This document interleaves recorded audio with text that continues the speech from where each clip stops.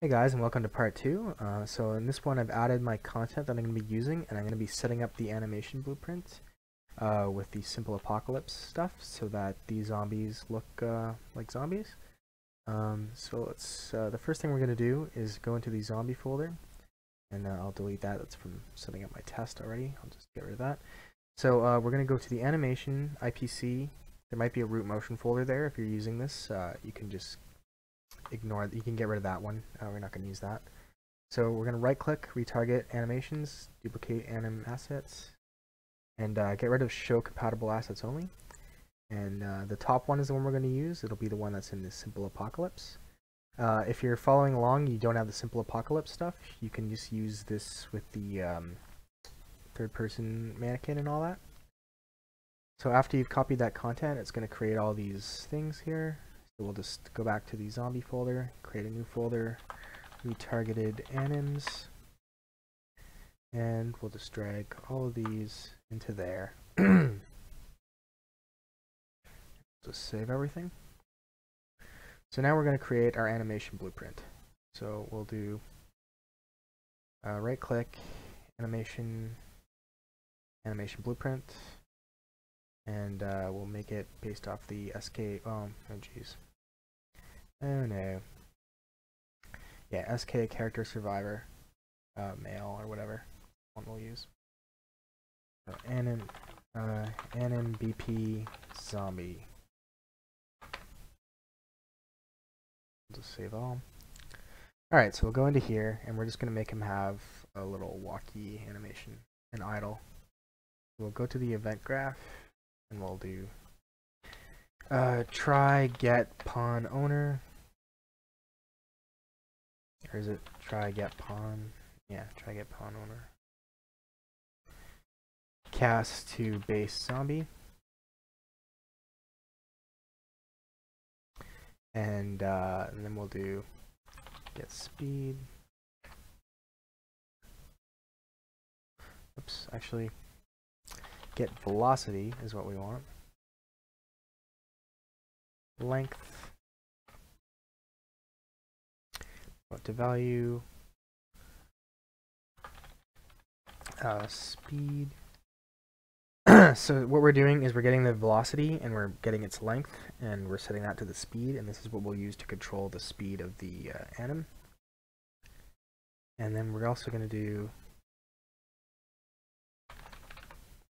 uh, right click calculate direction and uh, we'll do just make a rotator here. And then we'll connect velocity to this. And we'll put this to direction. Alright and compile and save. And now I have a feeling this won't work right because I never I don't remember exactly how to do it but we'll uh, we'll see what's, what's going on here. Alright so we need a new state machine. So we'll connect it to state machine Drag off that, do state machine. We'll name it locomotion. If I can remember how to spell. And we'll go in there, we'll do, drag off this, add state. We'll call it idle. And we'll drag off there and we'll do state called moving. And we'll also drag back. Now we'll set these things up. Alright, so if we're speed is greater than 10 greater than or equal to 10 then we can start moving. And we'll just uh, copy this and uh, go back to our locomotion. We'll go here. So this is from moving to idle. So if our speed is less than 10 then we can go back to idle. Alright we'll go back to our state machine here so idle. When we're idle, we're going to play. We'll go to the asset browser and we'll type idle. Drag that in there. Alright, we got our guy going idle. Go back to locomotion. Go to moving.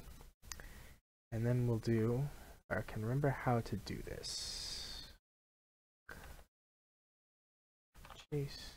Yeah, we'll do chase, I guess. So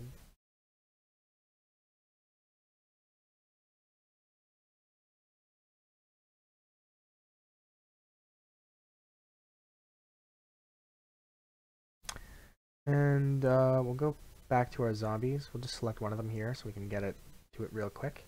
Go to viewport, go to mesh. We'll change this to zombie. And we'll just make it a zombie farmer for now, or I guess a zombie clown. No, that guy has no legs, that won't work. We'll make it a zombie farmer. We'll change his anim blueprint to zombie. Pile and save. And um, I guess we'll get rid of P. Hit P to get rid of that, and we'll hit play.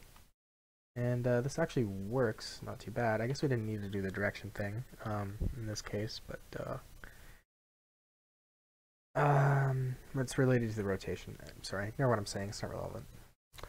Okay, so uh, we have our anim blueprint. It's really basic, but for now, that's good, I think.